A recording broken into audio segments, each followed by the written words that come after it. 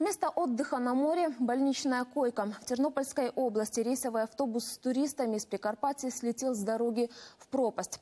Авария произошла на трассе Ковель-Черновцы. Автобус с отдыхающими направлялся из Коломыи в Одессу.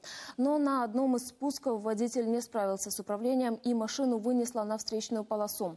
Задев отбойник, автомобиль несколько раз перевернулся и слетел в обрыв. В результате ДТП погибла 25-летняя девушка, еще пять человек в больнице. Всего в туристическом автобусе находились 55 человек. По предварительным данным, водитель был трезв.